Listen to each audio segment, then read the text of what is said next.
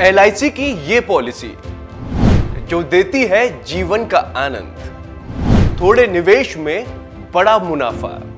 भारतीय जीवन बीमा निगम भारत की सबसे बड़ी बीमा प्रोवाइडर है। इसकी टैगलाइन है, ज़िंदगी के साथ भी, ज़िंदगी के बाद भी। ये एकदम सटीक है, क्योंकि LIC पॉलिसी में निवेश करने से आपके निवेश पर अच्छा रिटर्न मिलता है और लाइफ कवर भी मिलता है। एल नई नई पॉलिसी जारी करती रहती है। आज हम आपको एलआईसी जीवन आनंद पॉलिसी के बारे में बताने जा रहे हैं, जो इसकी सबसे लोकप्रिय पॉलिसियों में से एक है। इस पॉलिसी का इस्तेमाल कर आप लाखों रुपए पा सकते हैं।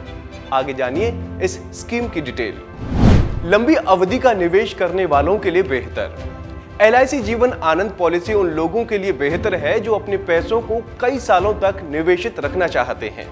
ये एक लॉन्ग टर्म बचत योजना है। जो लोग अपना रिटायरमेंट फंड तैयार करना चाहते हैं, उन्हें इस पॉलिसी को चुनना चाहिए।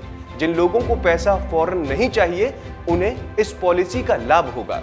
इस पॉलिसी में लॉक इन अवधि जितनी लंबी होगी पॉलिसी के फ़ायदे उतने अधिक होंगे। मिलता है निवेश bonus LIC Jeevan Anand policy के निवेशकों को निवेश बोनस मिलता है। यदि पॉलिसी धारक की मृत्यु हो जाती है तो उसके नॉमिनी पर्सन को 125 प्रतिशत डेथ बेनिफिट मिलेगा।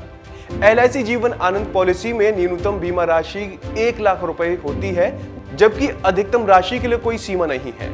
आगे हम जानेंगे कि 25 लाख रुपए की बीमा राशि पाने के लिए आपको कितना निवेश करना होगा। जानिए क्या है कैलकुलेशन।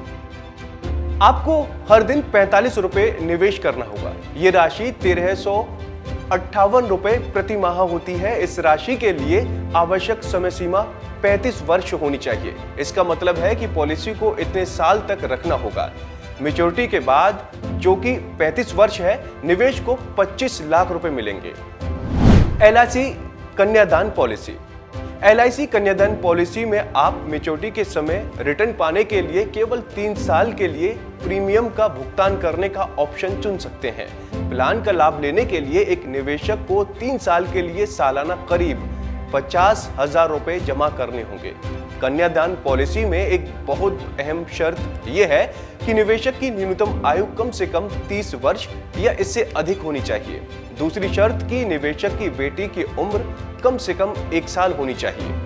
एलआईसी कन्यादान पॉलिसी की न्यूनतम मेच्योरिटी अवधि तेरह वर्ष है, जबकि प्रीमियम अलग अलग बीमा राशि के लिए कम ज़्यादा हो सकता है। एल कन्यादान पॉलिसी में निवेश करने के लिए आपको आधार कार्ड, इनकम प्रूफ, पहचान पत्र और बर्थ सर्टिफिकेट जैसे कुछ दस्तावेज़ जमा करने होंगे। यदि आप कुल 10 लाख रुपए का निवेश करने की योजना बना रहे हैं तो आपको 22 वर्षों तक तीन हज़ार नौ सौ एक रुपए की मासिक किस्त जमा करनी होगी।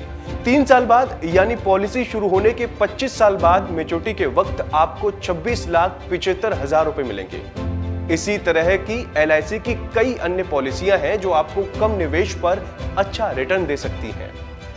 तो दोस्तों, उम्मीद है आपको हमारी ये जानकारी पसंद आई होगी। ऐसी ही तमाम अपडेट्स के लिए आप बने रहिए गुड रिटर्न के साथ।